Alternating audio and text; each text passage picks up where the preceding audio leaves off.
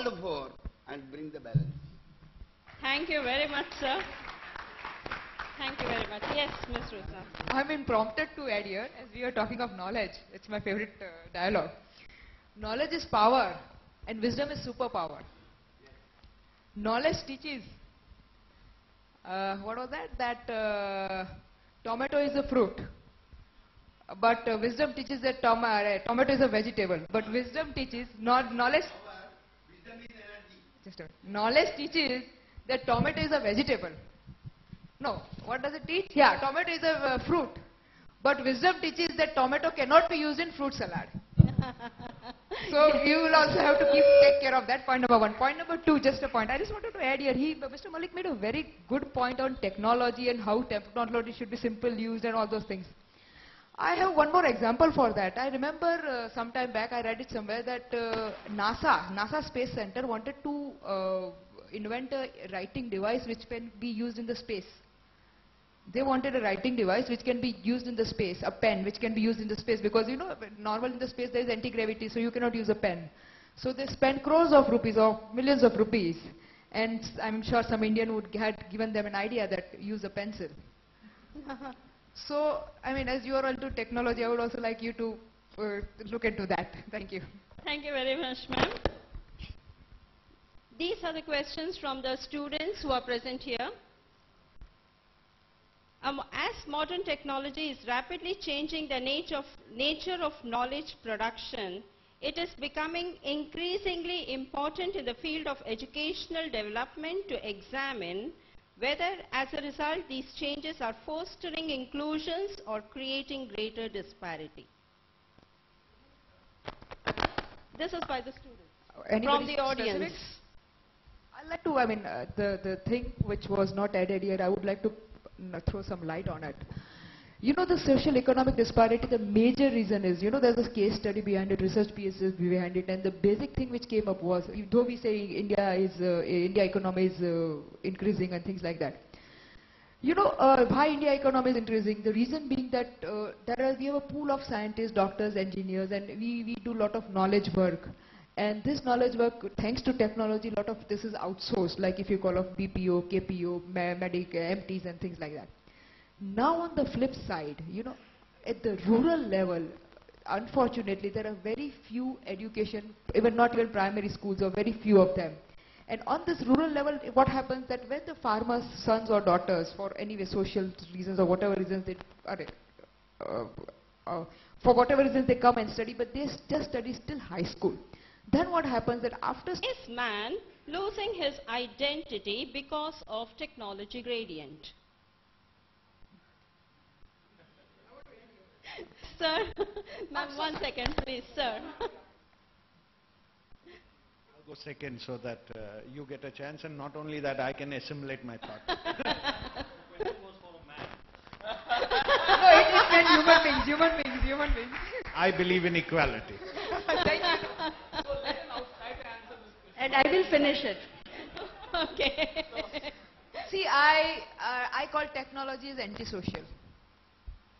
The reason being, ke, I mean, if I talk, not, not talk, I mean, specifically of internet technology, as we all know that now thanks to email or thanks to, uh, it, it's good also, but other way like this uh, networking sites, maybe we are not, uh, maybe I don't know what my brother is doing at the, in, the next uh, room, but I would be knowing what my friend currently in USA is doing, brushing his teeth, or whatever. You know, normally you update your status like that.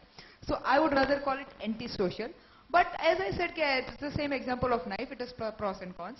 So tech, uh, what was the technology? Is man losing his identity because of technology? No, no, no, no, no, no, no, no, no. See, I, I also made a statement before that even if you talk, talk of robots, still robots would be robots and human beings would be human because it's the human beings who would be creating them.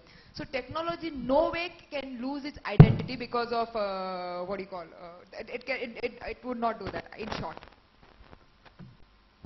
Answering emails. To be very honest, I'm, I would look at it the other way around. Today I'm happy. I mean, maybe that would have been chances that I would not have come here because I had some commitments, but or something to do. But thanks to this mobile and all that, today I can even support whatever thing I wanted to do and I'm be here. So in fact, I would rather say the other way around that thanks to technology, I can do a lot of multitasking.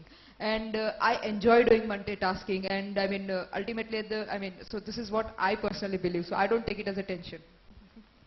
Yes, sir. Yes, sir.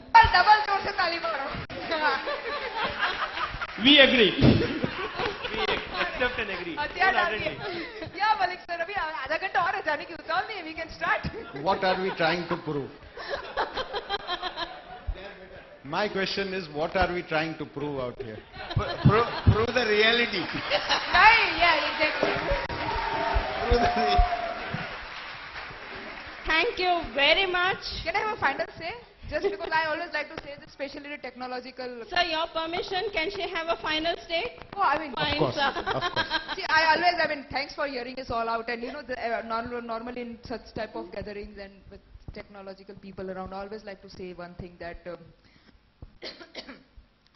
we all believe in uh, simple, uh, simple living and high thinking. I mean, but currently what I have noticed is, as he rightly said, we are pretty much into complex living and confused thinking. Especially with students, I have noticed that. So I just want to give one more small example, which is very important. Because when we get confused or when we do complex things, we never get successful in life. And at this time is the point of career which you are in. You are going to start your career. This is very much required. And I'll just like to give an example what I want to say. I'll, I'll always like to give examples while saying this is what I have been taught in my, I mean, career that give examples so that people can relate to it. And a simple example is that once upon a long, I mean, uh, everybody has heard of Sherlock Holmes? Have you heard of Dr. Watson? Okay, Dr. Watson was a PhD, while Sherlock Holmes wasn't. Everybody knows that? Great. Now, one fine day, Sherlock Holmes was sitting and uh, sleeping, and he woke up at around 2, 2.30 in the night. Sh- Sherlock Holmes woke up Dr. Watson and said, hey, look, look, what are you seeing uh, and, uh, up there?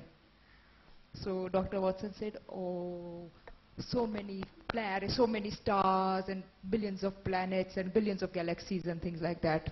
And uh, so uh, astronomically, it is such a, uh, this thing, astronomically this. So again, uh, Sherlock Holmes asked, still tell me what else are you seeing? So he says that, oh, such a vast universe, God has made so many stars and this is the best thing, God is a great and theologically this is the best. Great.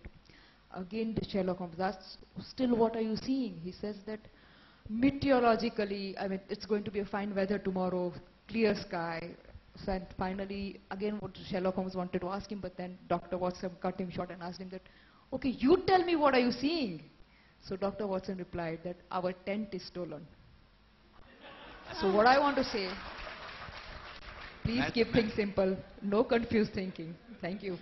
Madam, Thank one, you one, very much. one minute. What she said about the women and men, I would like to share a fact. I had two companies in Baroda. Two companies. One is Procon, another is Prism. Both are IT companies. Procon was all women.